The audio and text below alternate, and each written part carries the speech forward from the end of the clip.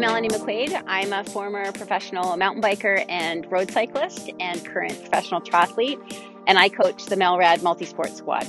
Today I'm going to show you a series of exercises to improve your ankle range of motion and your flexibility and your strength. These exercises are really important because uh, range of motion and strength is key to accessing um, adequate dorsiflexion so that you can land underneath your hips when you're running. It's important for developing explosive strength and power, especially in lateral movements like you need for trail running. And we also use our ankles a lot to pump the mountain bike in single tracks. So um, your ankles are a pretty pretty key uh, joint that uh, you need to work pretty hard to uh, make sure it's optimized. I am really not very good at any of this stuff, so I feel like I'm a really good de- demo for this because remember, we're training to be good triathletes. We're not training to be really great at strength exercises. So just like allow yourself the space to just start from wherever you are. Don't worry if some of the stuff is hard or um, you struggle to like access some of these shapes.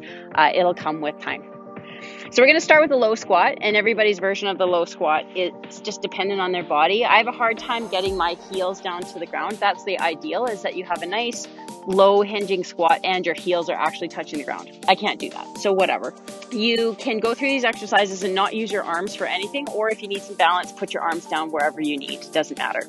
Okay? So our first exercise is, is just like a little flow from this low squat on, on our heels down onto our shins.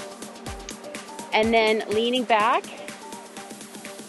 coming back up onto our shins, tucking our toes underneath and coming back into that low squat. So it goes from low squat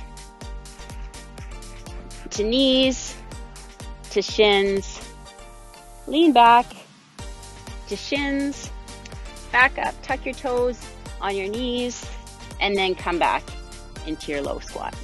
Second variation is to go from your low squat and just drop one knee at a time down to the ground. Drop one knee, come back into your low squat, and then bring your other knee down, come back into a low squat. Third variation is to put your one hand down and lean over to the side, and come back to the center, and then lean over to the other side, and come back to center. Next variation is to take, put your weight into one foot and then bring one leg out in front and then come back to your low squat. And then bring the other leg out in front and come back to the low squat.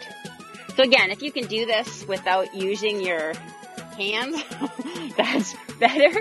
But when you're like me and you're not on your heels, you don't have as much stability. So you probably need a little hand to like stay balanced. In our third variation, uh, we're gonna go, we're gonna take our foot into that outstretched in front. Then we're gonna rotate it out behind and then shift our weight onto that back leg and stretch the uh, opposite leg out straight and then rotate through it, bring that leg back out in front and come back to center. So I'll talk you through it, like describing where your weight is. So I'm gonna I'm gonna put my right foot out in front. So my weight is on my left foot. So weight on the left. Put your hands down just to get get used to this. Right leg goes out in front. Right leg back behind me. I shift my hips back over the right leg. Left leg out stretched in front. Come back. Put my weight into the left leg. Come through. Bring my right leg out in front and then come back to that low squat again. It's a tough one, but you'll get it. So left leg out in front, left leg out behind, shift back into a lunge, runner's lunge, come back through, left leg back out in front, come back to my low squat. We'll do one more on the other side, right leg out in front, right leg shifts back behind into the runner's lunge, come through onto my left leg, right leg out in front, and back down into my low squat. So from Stevie and I, thanks a lot for watching.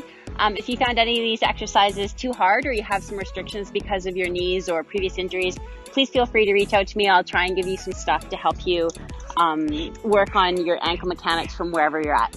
And again, to all the Xterra family, I miss you guys. And uh, I hope you guys are all doing well and uh, keeping healthy, safe, and happy. Cheers.